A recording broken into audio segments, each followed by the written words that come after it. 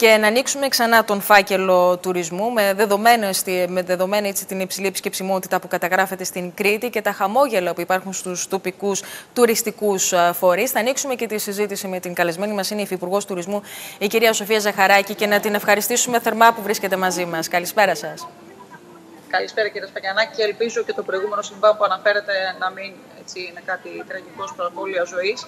Ε, και βέβαια να συζητήσουμε για το θέμα έτσι, του τουρισμού που νομίζω ότι ξυπνά έτσι ωραίες σκέψεις και σίγουρα χαμόγελα και στην Κρήτη μας. Έτσι, κυρία Ζαχαράκη, φαίνεται λοιπόν ότι τα στοιχεία αποδεικνύουν ότι μιλάμε για υψηλή επισκεψιμότητα στην Κρήτη, για ένα success story όπως λένε και τοπικοί αλλά και κυβερνητικοί παράγοντες, ό,τι έχει να κάνει με τον τουρισμό. Φαντάζομαι ότι τα χαμόγελα και στο Υπουργείο Τουρισμού δεν λείπουν, αλλά υπάρχει και εγρήγορση υπάρχει γρήγορη πρώτα απ' όλα γιατί είδαμε τα τελευταία τρία χρόνια πόσες αβεβαιότητες πλέον επικρατούν στη ζωή μας. Αλλά σίγουρα τα στοιχεία τα οποία μέχρι τώρα έχουμε, όπως είναι η τουριστική κίνηση του Ιουλίου, είναι χαρακτηριστικά και ενδεικτικά. Βλέπουμε ότι και η Κρήτη σπάει το ένα ρεκόρ μετά το άλλο.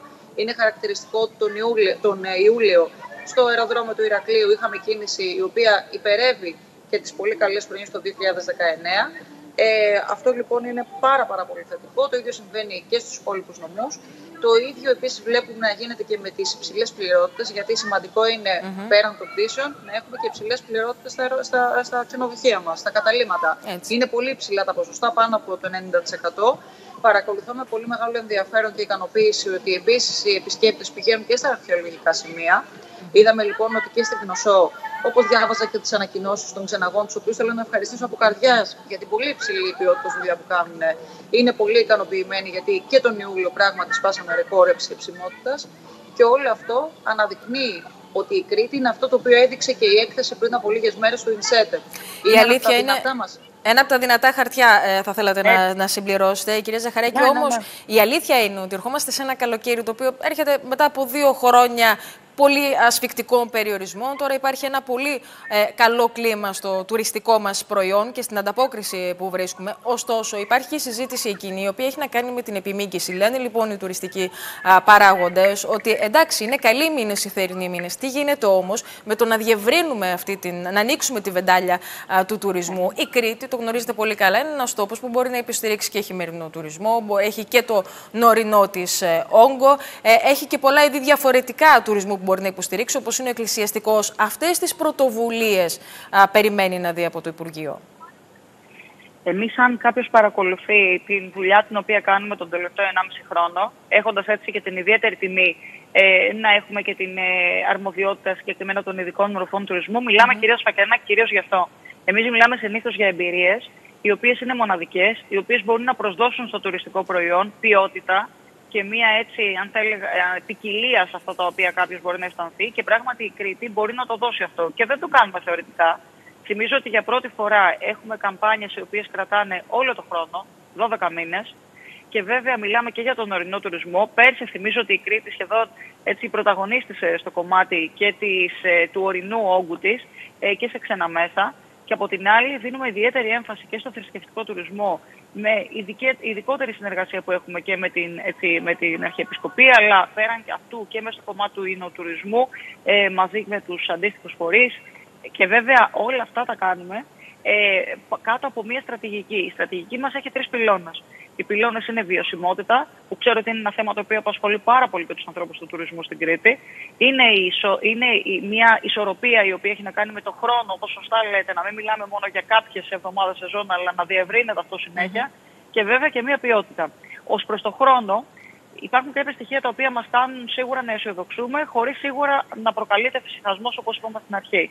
Το γεγονός ότι υπάρχουν αυτή τη στιγμή προκρατήσεις πτήσεων αλλά και δωματίων οι οποίες φτάνουν και μέχρι τα μέσα Νοεμβρίου, κάποιες εξ αυτών και μέχρι τα τέλη Νοεμβρίου, γιατί επιτρέπει ο καιρός, είναι σίγουρα κάτι ελπιδοφόρο.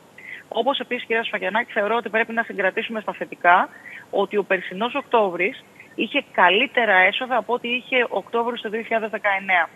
Δεν λέω ότι έχουμε φτάσει ακόμα στο στόχο. Απέχουμε. Γιατί είναι πάρα πολλές οι προποθέσει οι οποίες πρέπει να πληρούνται για να μιλάμε για έναν ολόχρονο έτσι τουρισμό. Ναι. Από την άλλη, όμως, έχουμε αυτή τη στιγμή μέσω της στρατηγικής μας τα πρώτα βήματα για να μπορούμε να πετυχαίνουμε σιγά σιγά στόχους που έχουν να κάνουν και με την κρουαζιέρα, με πλεύσεις οι οποίες μπορούν να γίνουν πολύ πέραν της τυπικής τουριστικής περίοδου και γίνονται κυρίως, αλλά και ταξίδια τα οποία συνδέονται με τις ειδικές μορφές τουρισμού. Θυμίζω ότι γίνεται με τις μεγάλες αθλητικές οργανώσεις, οι οποίες γίνονται καθ' όλη τη διάρκεια της χρονιάς και μάλιστα η Κρήτη πρωταγωνιστή. Επαναλαμβάνω τι μπορεί να γίνει και τι γίνεται ήδη με τον τουρισμό, τη γαστρονομία, τον ιστορικό πολιτιστικό τουρισμό ή το κομμάτι το οποίο μας ενδιαφέρει πάρα πολύ και είναι ο συνεδριακός τουρισμός, γιατί η Κρήτη μπορεί να τον υποστηριξει με το πλήθος των συνεδριακών χώρων αλλά και των κλινών που έχει καθ' όλη τη διάρκεια της χρονιάς. Αλλά είναι κάτι το οποίο χρειάζεται οπωσδήποτε να συζητηθεί και συζητείται και στο επίπεδο του Περιφερειακού Συμβουλίου Τουρισμού με τον Υπουργό και τους Περιφερειάρχες. Και εδώ επιτρέψτε μου, αφού μιλάμε απόψε, να ευχαριστήσω και την Περιφέρεια αλλά και τον αρμόδιο ε, αντιπεριφερειάρχη, τον κύριο Κότσουλ, ενταλμένο σύμβολο για τα θέματα του τουρισμού, για τη συνεργασία που έχουμε σε όλο το πλέγμα δραστηριοτήτων και στην τουριστική εκπαίδευση, όπως επίσης και τους Δήμους. Γιατί όλα αυτά δεν γίνονται με μονάδες, γίνονται με ομάδες. Έτσι, και, και σίγουρα επιβάλλει να... συνεργασίες ε, όλο αυτό και να έχουν έτσι ένα ενεργό ρόλο και, και η αυτοδιοίκηση είτε ένα, ε, πρώτου είτε δευτέρου βαθμού. Σας τρομάζει α, το 2023 και εξηγούμε γιατί θέτω αυτή την ερώτηση. Υπάρχουν αναφορές από τους τουριστικούς ε, πράκτορες, οι οποίοι φυσικά βλέποντας ήδη την επόμενη χρονιά φοβούνται τις επιπτώσεις της ενεργειακής κρίσης, είτε πώς αυτή θα μεταφραστεί σε ό,τι έχει να κάνει με το κόστος το οποίο θα χρειάζεται κάποιος για την διαμονή του. Ενδεχομένως να δούμε τις τιμές λίγο να συμπαρασύρονται λόγω και του κόστους ε, της αύξησης και της αύξησης των τιμών σε όλα τα είδη λόγω της ενεργειακής κρίσης, αλλά και το κόστος το οποίο θα επιφέρει σε αρκετούς πολίτες ξένων χωρών αυτή η ενεργειακή κρίση, κατά πόσο θα κάνουν συγκρατημένα τις διακοπές τους ε, την επόμενη χρονιά. Σίγουρα παρατηρούμε αυτό μήνα-μήνα. Βλέπουμε και κάθε φορά ούτως ή άλλως προφανώς πρέπει να προβλέπουμε, αλλά πρέπει να βλέπουμε και τι έχουμε αυτή τη στιγμή μπροστά μας. Το 2021 είχαμε μία αύξηση του 27% στη μέση δαπάνη.